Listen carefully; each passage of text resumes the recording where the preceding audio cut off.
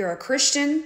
Admit this makes no sense if you are sincere. He is God's son, the So, son of God. so what do you mean by the son? Okay, I mean, I have three children, right? I have two sons. yes. I mean, I know that son, my son is different than me.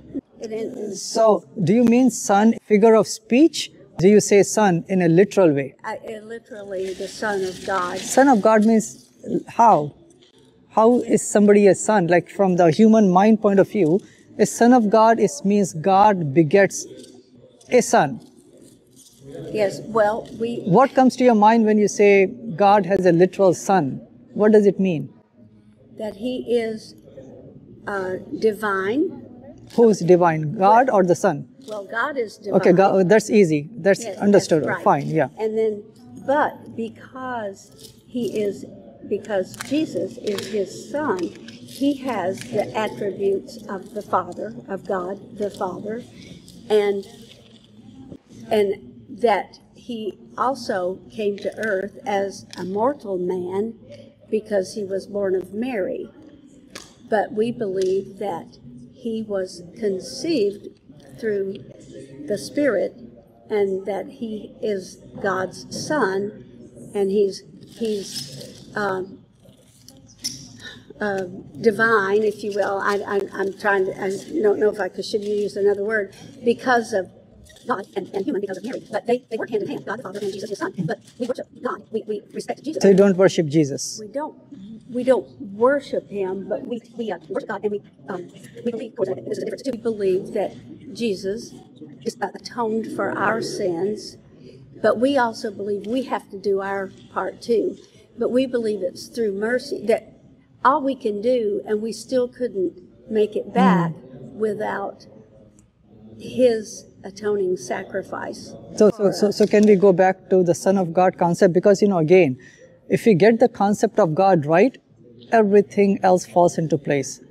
You know, actually, if you take the word Son of God and look into the Bible dictionary, the Easton Bible dictionary to be exact, under the word sons of God, the, the dictionary says that anyone who is a righteous person, a pious person, used to be called as son of God, mm-hmm. as a figure of speech, not as a literal son, because Right, even in the. Old Testament, you can see that they have many, many sons of God. Mm-hmm. For example, David is called as the son, not just a son of God, he's called as the begotten son of God, David. In the book of Psalms, chapter number 2, verse number 7, David is called as the son of God, right? Jacob is called as the son of God. Angels are called son of God. Peacemakers are called as, you know, children of God. Do you believe Yes. that you are a son of God? No, no, because uh, God is God. I'm a creation of God, right? I'm not a son of God because that's where it becomes confusing. If we say that son and daughter, then instead of having a figure of speech way of saying it, people will start believing it in a literal way, and uh, very soon they are given uh, divine attributes, and very soon then you have multiple gods. So what we say is we are creation of God, we are not sons and daughters of God because it avoids diluting the concept of God. Okay. I hope you understand, right? Yes, Yeah. I, I- I, I understand the distinction that you're making. Yes. Even though I do believe that, yes, I'm a, I'm created, I'm, I actually believe I, we are created in God's image. Do you believe that God is, would have a form like we do? Uh, not flesh and bones, but Mm-hmm. that he, Some form, right? yes. So, so what we believe is that there is a passage in the Quran, chapter, uh, actually it's a chapter, chapter number 112, and I will just quickly recite it for you. English translation, okay, just to make it easy. It says in that chapter 112 that say He is Allah one and only. He is eternal and He is needed by all. He begets not nor He is begotten, and there is none like unto Him. So we say that God does not have a nose and two eyes and one tongue and you know form like this. Because if we limit God by a form, that means he would be dependent on the space and in time and he will be dependent on the creation. Number 1.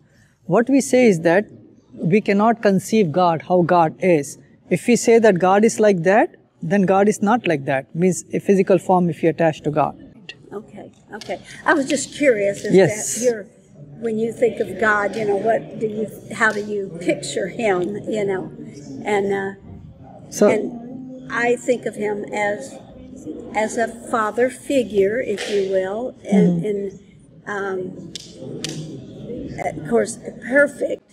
He's, he's, he's the only perfect person or being, because we're imperfect, because we live in an, an imperfect world, Mm. Right. and so forth. I don't want to keep you. I know you're taking a lot of time no, to talk so have you did we- No, I haven't. I, I got here. I got here too late. I mean, I just got here before I came here to speak to so, you. so, so just to summarize, right? Are you from here? Do you live Chicago. here? Okay, so you're a guest here. Okay. I'm a guest just like you, but Okay. uh, they assigned me to speak, so I came here to That's speak. great. Yeah, yeah. So, so what I would suggest is Mary, not Mary, sorry, Linda, right? Yeah, that's fine. Mary from the Bible comes to my mind, That's but Linda, right. right? Yes. So it's important for us that we need to identify and embrace the concept of God that God has introduced through every single prophet.